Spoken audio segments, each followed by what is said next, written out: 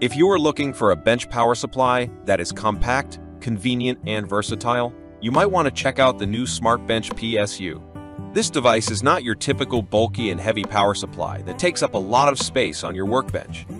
It is a very small unit that can be powered by any USB-C phone charger, making it easy to use anywhere. You can also store it in a drawer when you're not using it, saving you valuable space.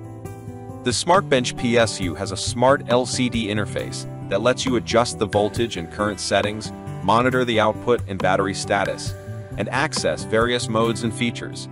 It is a great tool for hobbyists, makers, students, and professionals who need a reliable and portable power supply for their project. First, we have the case that houses the PD module, XT30 connector, and the quick charge module. The PD module, once connected to a PD charger, will output 15 volts at up to 100 watts. The XT30 connector is used as an auxiliary input that can power up the PSU if you don't want to use the PD module.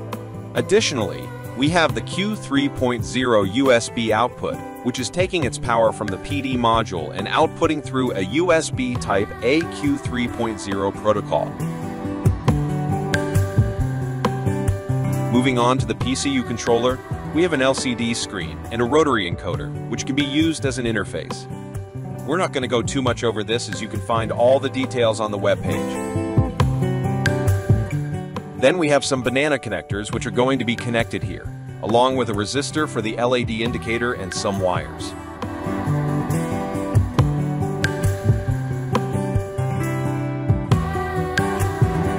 Now, let's get started with the wiring.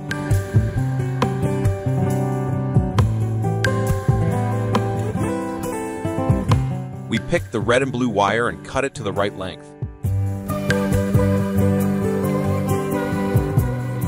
The length is not exact, it's just an approximation.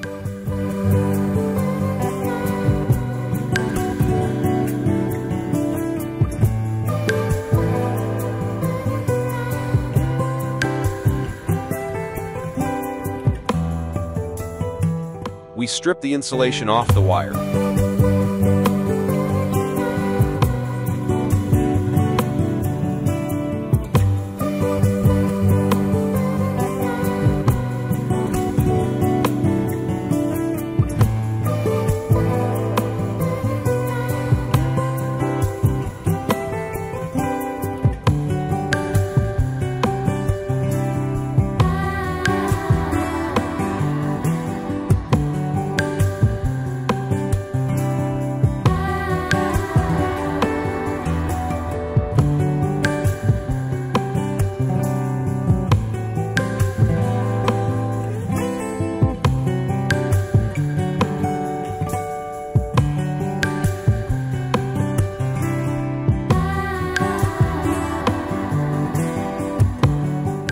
We stripped the insulation off the wires and soldered them onto the XT30 connector.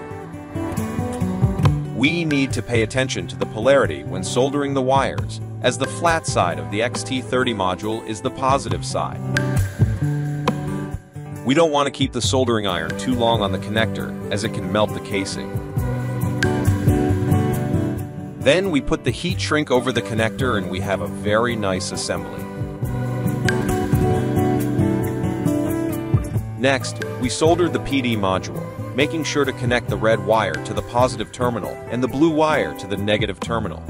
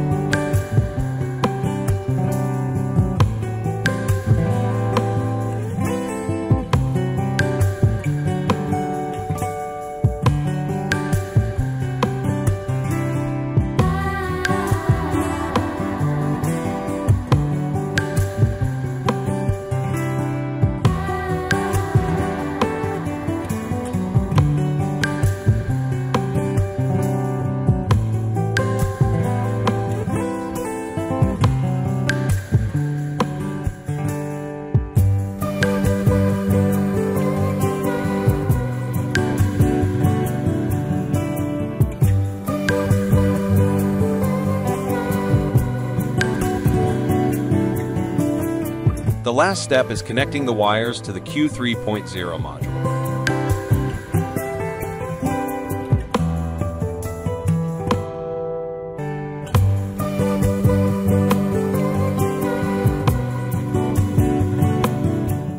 This yellow strip is a thermal tape and is for protecting the case from overheating and burns during QC module soldering.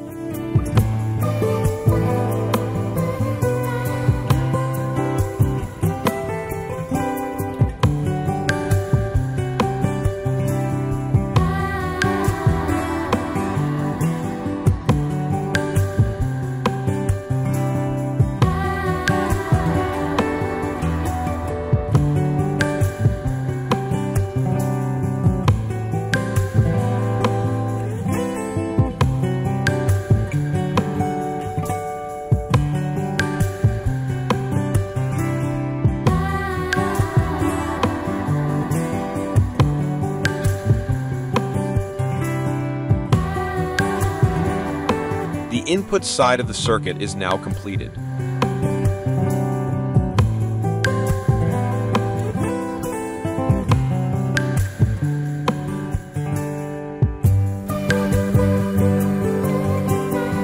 As we said in the beginning, the PD module is in parallel with the auxiliary input and is feeding the quick charge module in order to have a USB output on the front.